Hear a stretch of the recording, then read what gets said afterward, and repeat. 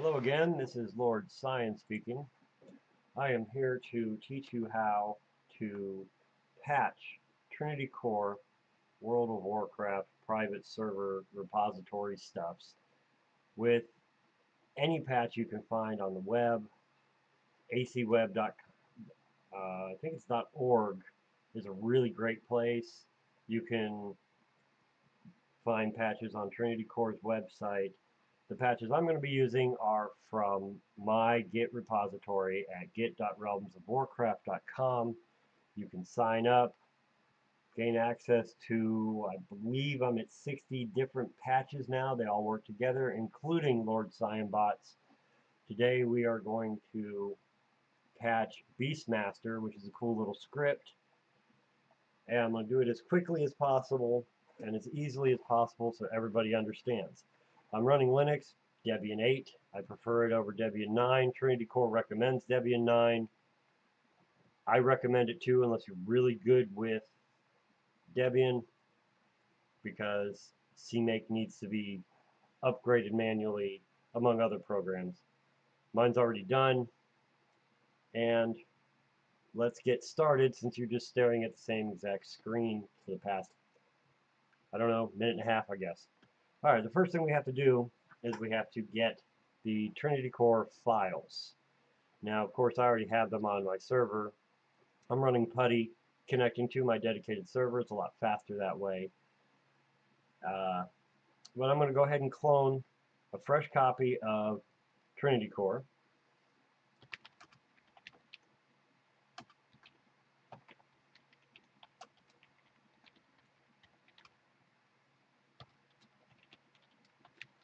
Probably already know, if you're running Linux, that things are case sensitive. Got to have a capital T, capital C. If not, you'll get errors. Always best to type it exactly as you see it on your screen or copy and paste it if you can. Uh, I already have a Trinity Core folder, so we're going to name a folder Trinity Core 335. Clone in here real quick. Trinity Core files are free. Anybody can grab them. I'm assuming your server is already set up. If not, you can check out my other video on how to set up Debian to clone and run Trinity Core servers. Alright, now that that's almost done, now there's one thing we have to make sure of. Trinity Core is, in my opinion, the best private server core out there. There are some others, uh, Azeroth Core, I think Sunwell may still be out there. Of course, Mangos and CMangos, if I'm pronouncing that correctly. They're also very good. I use Trinity Core because I know it. Uh, so, anyways, the, the problem with Trinity Core is most private servers are run at patch 335A, but when you grab Trinity Core, when you when you clone it, it comes in 7.2.5. So we have to change that. So the first thing we need to do is go into our folder and we need to get a list of all possible branches. That way we can check out the 335A one. So the, the command is simple. Git branch A will show you all of them. Now there's a lot of them in there. I guess now it's up to 7.3.2. Last I checked it was 7.2.5. Anyways, that's the master branch. We need to go to 3.3.5. Now you don't have to worry about the remotes or the origin. All you have to do is remember the 3.3.5. The command is simple. Git checkout 3.3.5. Now we're at 3.3.5, so patching will not be an issue. So now we have to get the patches from my repository.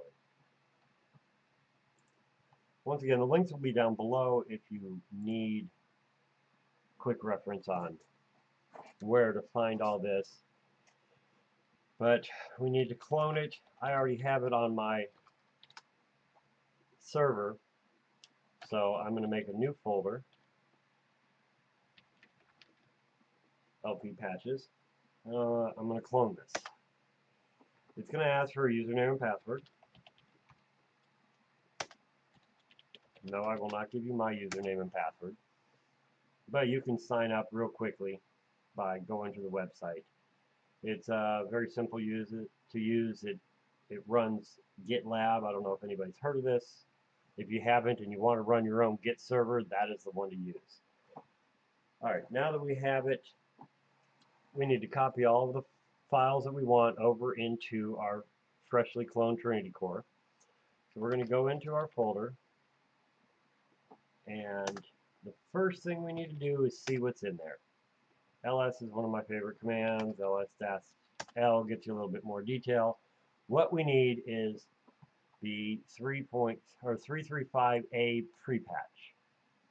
Now, if you cloned Eluna, I do have a patch for that. It's a little bit outdated, but should still work. So we want to copy this. Sorry about the dinging. PuTTY does that when you're Windows.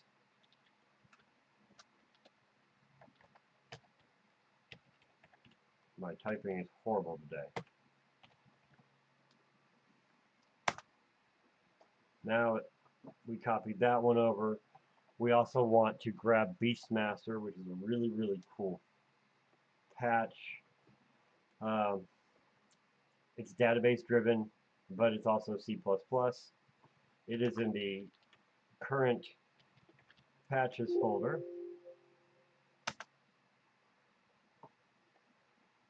And let me see if I can remember the name of it.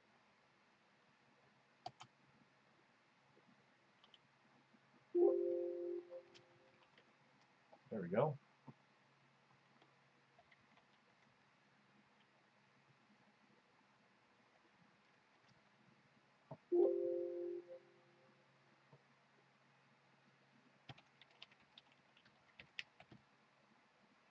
Going to give it a quick rename.